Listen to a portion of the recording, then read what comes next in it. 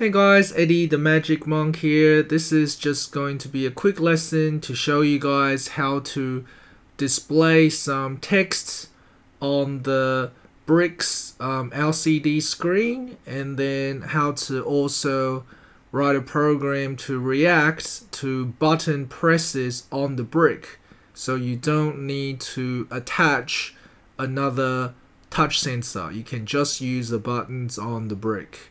So let's see how we can do that. So the first thing we're going to do is uh, we're going to start a brand new program and we're going to um, insert a display block and attach it to the start block.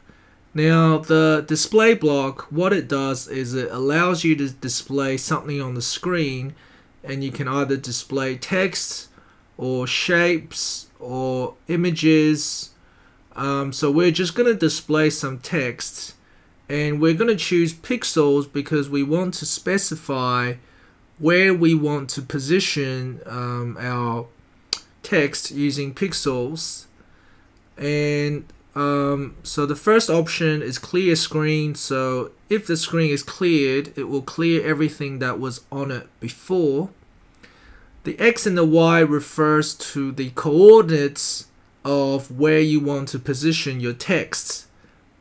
So let's say we want some text to appear starting on the left hand side, so x will be 0, and y um, vertically, let's specify a number, let's say 20 pixels down.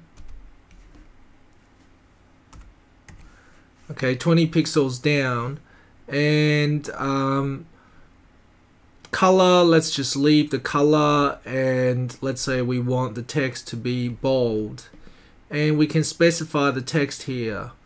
Okay so let's just um, say the text is press middle button. Press middle button. And let's let's display some more text. So drag another display block on and this time we're going to say um, display another line of text. And let's display to end program. Okay so press middle button to end program. Now this line to end program is going to appear a little bit lower than this press middle button. So let's make it the y coordinates let's say 40 right 40 pixels down the screen so 0, 0 is the top left of the screen. So we're going to make it, we're going to make the word start on the left hand side, but 40 pixels down. And let's make this um, uh, same font as before. So press middle button to end program. And then let's add in a wait block. So what the wait block does is it allows you to choose a sensor and it won't proceed beyond this point until this sensor senses something. So the brick, we're going to use the brick button, compare, and that means we're going to wait until the middle button, so the center button, senses a bump. Okay, so it's going to say this on the screen and then we're gonna press a button and then the program will finish okay so let's try and download this to our program and see if it works Hey guys, so I'm going to run the program that I just created before. So let's click the run button on our on our um, Lego Mindstorms.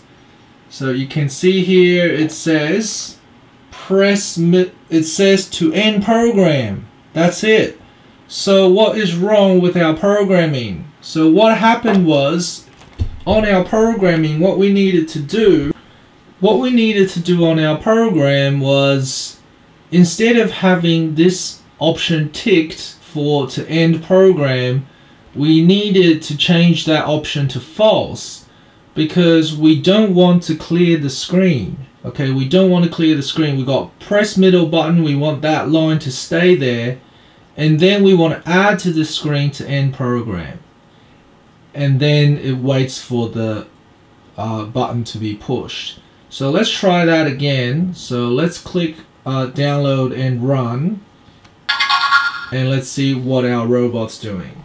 Now you can see it says, okay, it says press middle button to end program. And what happens when we press the middle button? Program is ended. Okay, thanks for watching the tutorial guys. See you next time.